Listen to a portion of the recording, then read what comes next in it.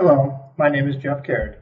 In this video, I will demonstrate one of the new features in AutoCAD 2016, a feature called Smart Dimensioning.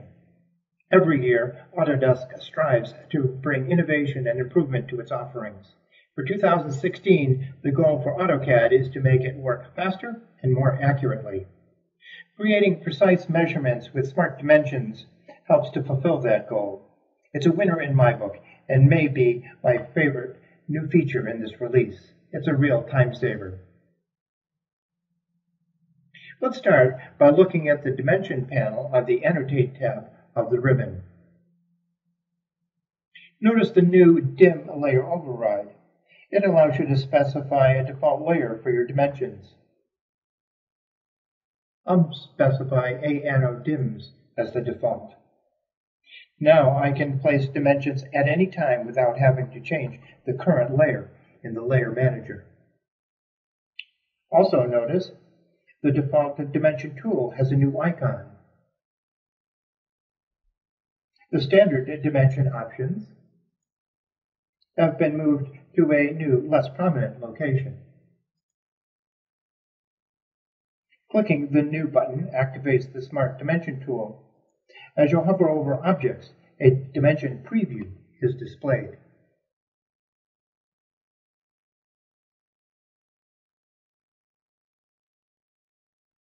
To place the dimension, left click, drag to the location of your choice, and left click again to place a dimension.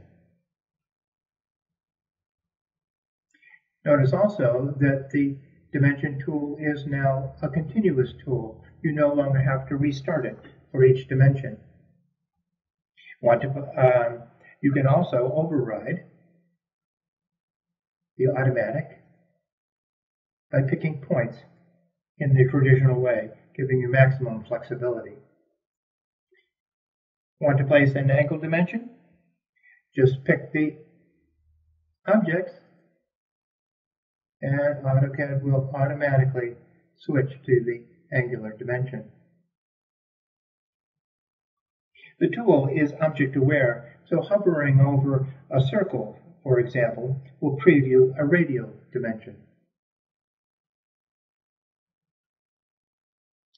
Notice the on the command line that there are options displayed as you are placing dimensions.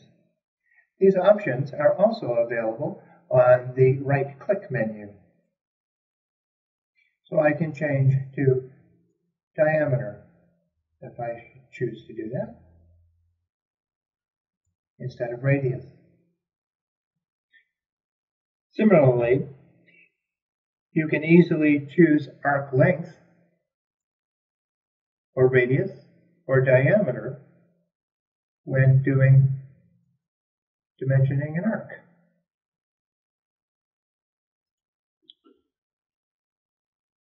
Finally, using the new geometric center snap override, it is now possible to dimension to the centroid of any closed shape.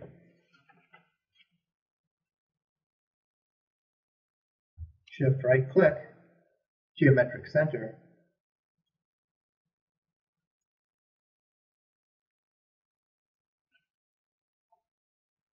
Have fun exploring the Smart Dimension tool.